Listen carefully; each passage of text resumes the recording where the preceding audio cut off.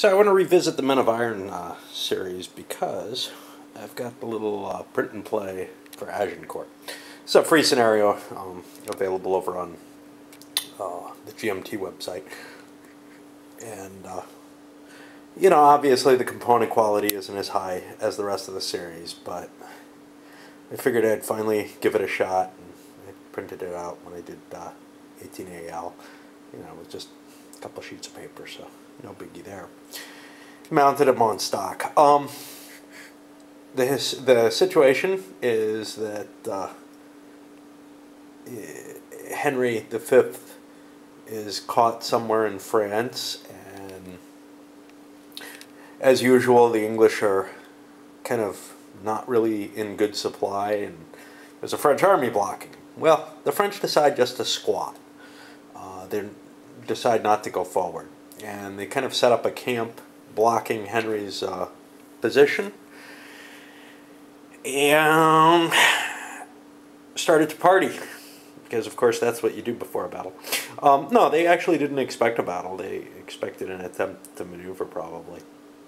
Instead, what Henry does is he moves forward into basically bow range almost of the French line, sets up some pikes, etc., and moves forward a little further and begins to shoot up the partying French. Um, thoroughly pissed in more than one way, the French charge, and the English pull back just a little bit, and, well, behind their defensive position, and proceed to decimate the French, who attack pretty much completely with no command structure, etc. So we're going to see how that works out. We're going to play with all the historical options to make this the true slaughter that it should be. So the French moved forward, and the English uh, managed to get a line of uh, initiative and basically just destroyed that entire front line as it moved forward. Uh, I mean, it's retired, a couple of units dead. So the French bow advanced and uh, promptly disappeared. Um, basically already in a disordered state. They were unable to really act, uh, fire effectively. I probably should have held them back uh, until I could rally, but they're in the second line, and it seemed like a useful thing to move forward. Um, the French moved forward with their first line again.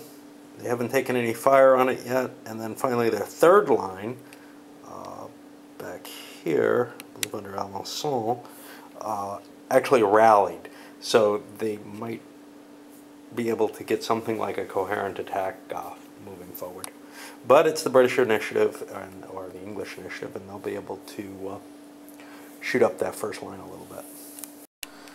Uh, another series of activations with French charges. Um, again, I, mean, they just move forward and they disappear because they're not allowed to rally if they're close. Uh, units got close enough that if they had been able to get some sort of continuity, they would have been able to engage. But so far, there hasn't been a single shock attack yet. Um, the English have just done too well in terms of getting continuities or the French not getting them. And the French army breaks. Uh, 25 rout points. I accidentally started clearing up uh, some of the retired markers on the non-continuity or switch um, and then realized my mistake. They were at 25 uh, flight points, rolled a 6, boom, it's over. Uh, English took no losses, nowhere near as bloody a battle as it was historically. This is played historically, um, completely unwinnable by the French. But you could play the same scenario with the full rules, or maybe not, um, not have the French army start disordered or something. And it could be an interesting little battle. I'm not sure. Uh, but you know, it it's a free print and play, and it's a good. I, I really like that companies do this. Um, I think it's a, a, good habit. My, the first one I pulled out was Talavera from uh, the Gamers, uh, or not Talavera, um, Espinosa or something like that. two, they put two out for the Napoleonic Brigade series, which made me say, "Wow, I like where the Brigade series went." Uh, unfortunately, it's dead now. But uh, you know, this is definitely if you want to give a taste to the system, great. I mean, the rules are living rules, so they're online.